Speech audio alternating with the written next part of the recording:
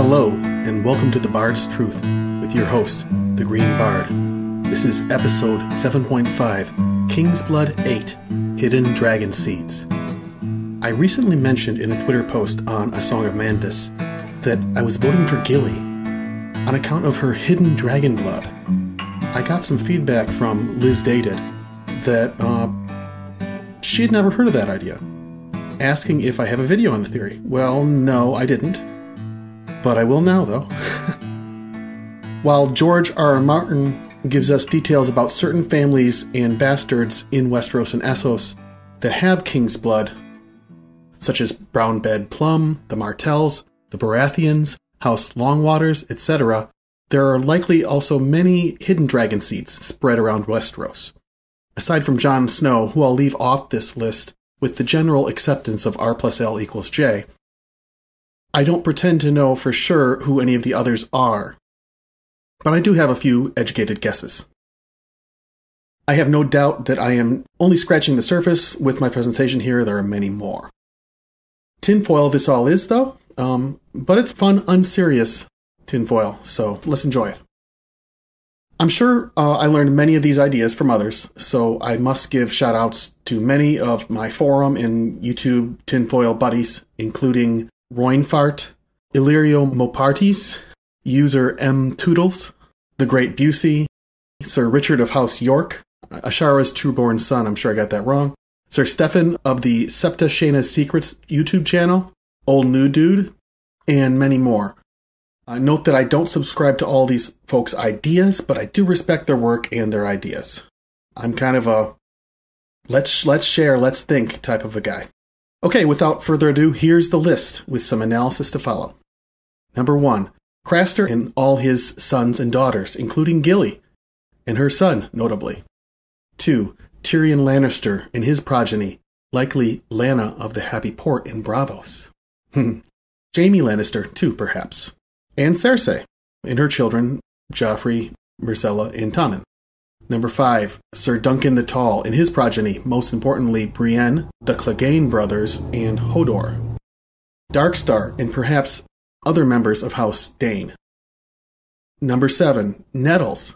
Yes, Preston Jacobs is wrong about her, or at least half wrong, as much as I respect his work. Number eight, Serra, erstwhile courtesan and deceased wife of Illyrio Mopatis, and her son Aegon.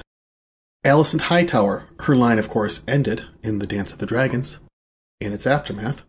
And then number 10, members of House Uller, including Ellaria Sand and her four youngest sand snakes, Elia, Obella, Dorea, and Loreza, all potentially getting a dragon gene from both their mother and their father, Oberyn Martell. There is not time or really enough evidence on each of these to go into detail, but I'm going to give you a little bit on each of them and why I think that they may be hidden dragon seeds. Craster and his children, including Gilly and her son, number one. His father was a crow who stole a woman out of White Tree Village, but after he had her, he flew back to his wall. She went to Castle Black once to show the crow his son, but the brothers blew their horns and run her off. That's from Ygritte in A Storm of Swords, Jon 2. The idea here is that Bloodraven is Craster's father, some have also suggested that Maester Aemon was his father instead. I favor Bloodraven because I don't see any opportunity that Aemon might have had to steal Craster's mother. The evidence is scant for the Bloodraven idea, though. You'd think if it were true, some of Craster's children might have albino genes or Targaryen colored hair, but perhaps the woman from White Tree had that strong black hair gene. And um, on average, Craster's children would have 75% of her genes and 25% of Craster's father's genes. So perhaps um, the albino gene and silver hair genes were bred out in the early generations. There are other details that favor this parentage too. First, the fact that the others seem to want the son's genetic material for its king's blood. Secondly, with Craster understood to be above 50, this would definitely coincide with the timeline for Bloodraven being the Lord Commander or a High Ranger in the Watch. This gives him the power and opportunity to seemingly run her off from the wall while secretly setting them up with a keep that was friendly to the watch. I also like the idea that Jon's baby swap is futile, that Gilly's and Craster's son have just as much king's blood or more than Mance's child. The sad part, of course, for this is that Melisandre would probably catch on to this. I worry that Mel then might sacrifice this child, perhaps even to resurrect Jon's body. Number two, Tyrion and his progeny, likely Lana. I first heard this idea from Preston Jacobs, at least the Tyrion Chimera side of it, and I've discussed it in this video here. But Sir Stefan of Sept Shaena's Secrets does a great job of talking about all aspects of the Tyrion Chimera theory.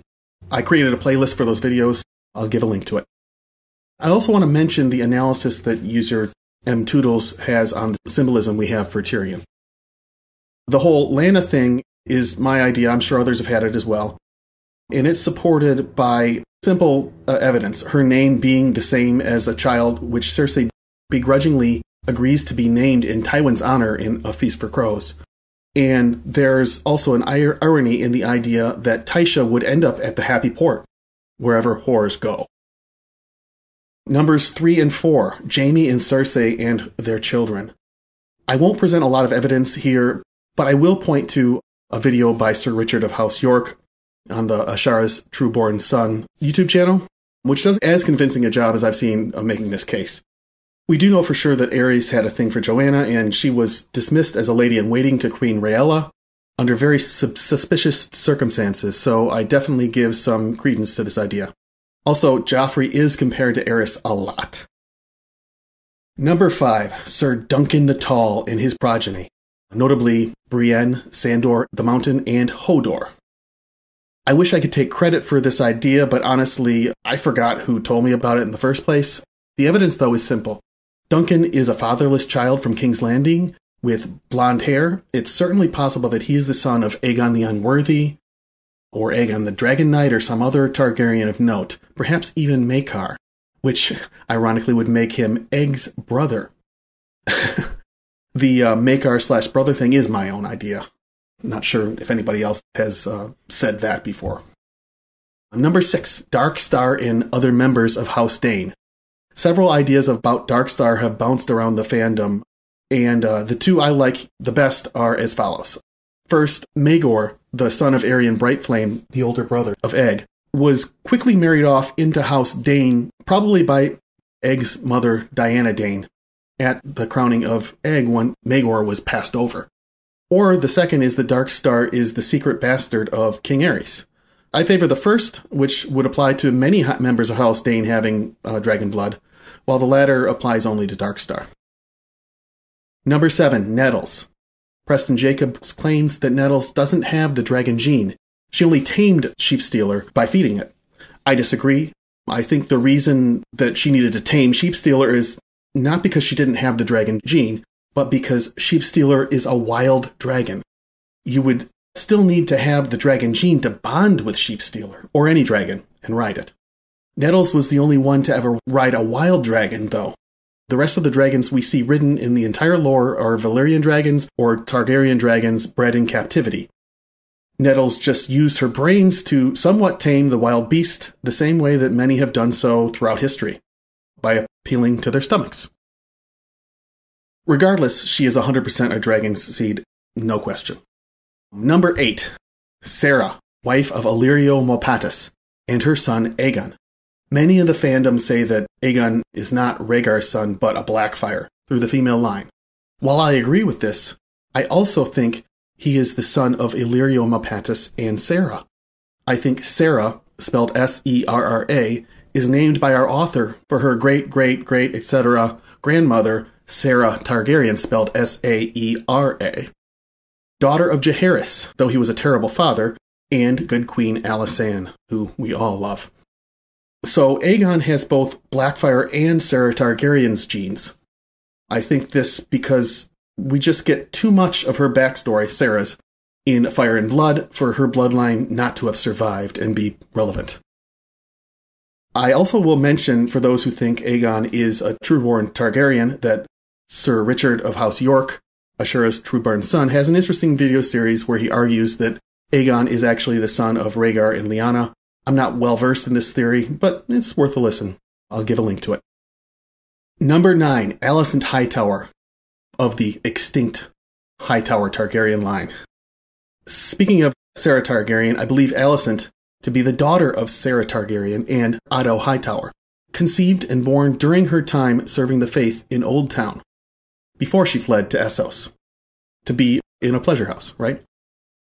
Why did she flee? I hypothesize it was because she was used as a broodmare by the Hightowers to steal her genes, only to then have her daughter stolen from her subsequently. My evidence? From The Rogue Prince. As the king's strength and wits began to fail, he was oft confined to bed. Sir Otto's 15 year old daughter, Alicent, became his constant companion, fetching his grace his meals, reading to him, helping him to bathe and dress himself. The old king sometimes mistook her for one of his daughters, calling her by their names. Near the end, he grew certain that she was his daughter Saera, returned to him from beyond the narrow sea. She looked like Saera because perhaps she was of Saera's body. At least that's my idea. The timing also does seem to line up. Number 10, House Uller. Recall that Ellaria Sand is the bastard of the Hellholt, so her four daughters, with Oberyn Martell, would potentially be getting the dragon gene from both sides of their family. This one takes a quote to make the connection. Whether Rhaenys Targaryen outlived her dragon remains a matter of dispute. Some say that she lost her seat and fell to her death. Others that she was crushed beneath Meraxes in the castle yard. A few accounts claim the queen survived her dragon's fall, only to die a slow death by torment in the dungeons of the Ullers. The true circumstances of her demise will likely never be known, but the histories record that Rhaenys Targaryen, sister and wife to King Aegon I, perished at the Hellholt in Dorne in the tenth year after the conquest. That's from The World of Ice and Fire, Dorne, Dorne Against the Dragons. My theory is that Rhaenys did in fact survive and was nursed back to health by the Ullers. Eventually, in some Stockholm Syndrome esque manner, she went on to bear the child of an Uller, and that child lived past Aegon's Dornish wars.